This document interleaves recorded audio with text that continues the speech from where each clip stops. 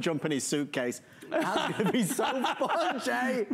Okay, well, we digress, but welcome to the show, everybody.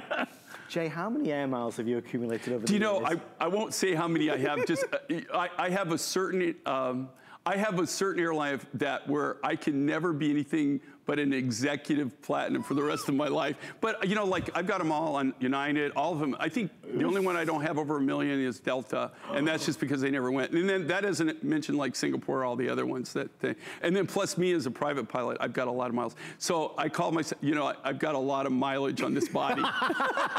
like you wouldn't want to buy this body. It's got a lot of miles, man. A lot of rough miles.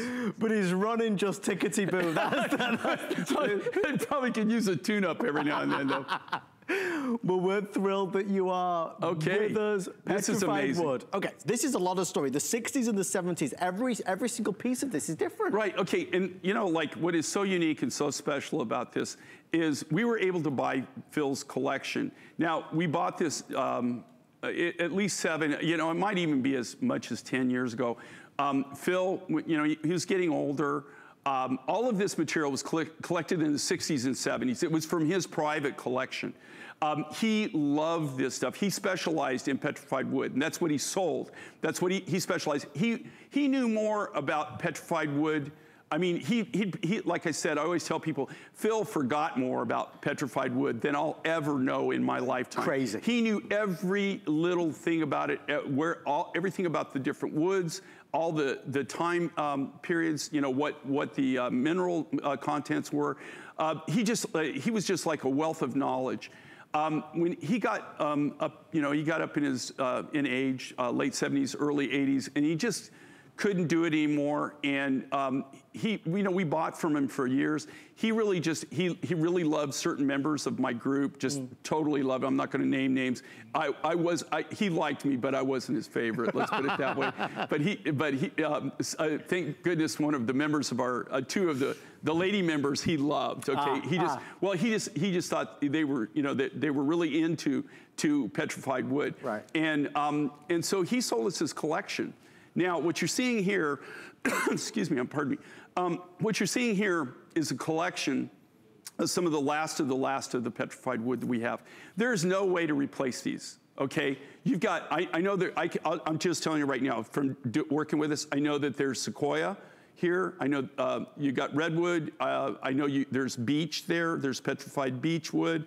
Uh, I see a little bit of uh, Devilgate juniper. There, there, there was literally hundreds of different kinds of petrified wood in his private collection, but those are just a few that I can name that I, that I know that's what it is. But each one of these is going to contain a, a, an array of collectible petrified woods. It's just really part of history.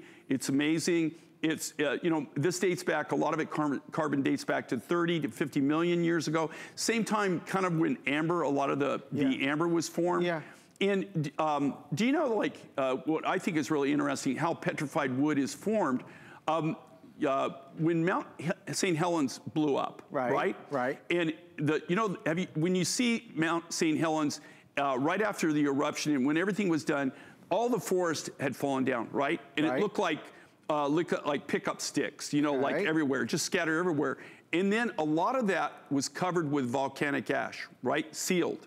So you still saw some of the trees on top, Yeah. but the trees that were below that are covered with volcanic ash, maybe, you know, like 5, 10, even maybe 20 feet deep. And what happens over time, if we come back to Mount St. Helens in 30 to 50 million years ago Okay. from now, Right. okay, we come back, Right. there's a good chance we would be sitting on some really cool petrified wood because that's how it's formed.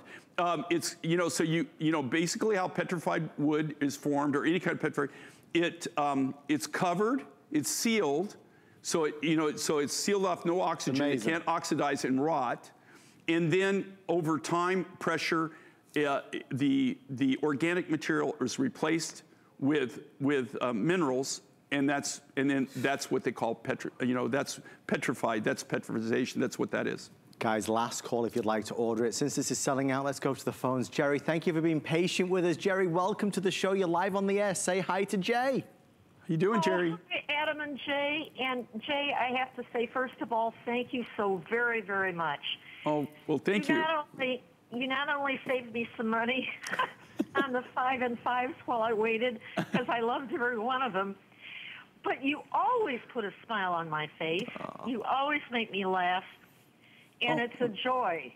Well, thank you. Joy to talk to you.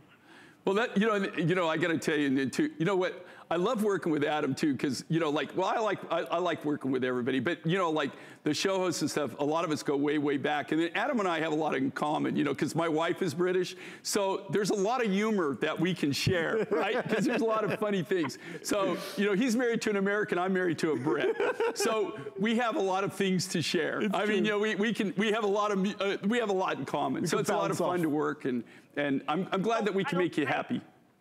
I absolutely love the fact that you made the comment, and you've made it before. You save the best for last. You certainly did with that Belmont. Uh, is that Oh amazing or what?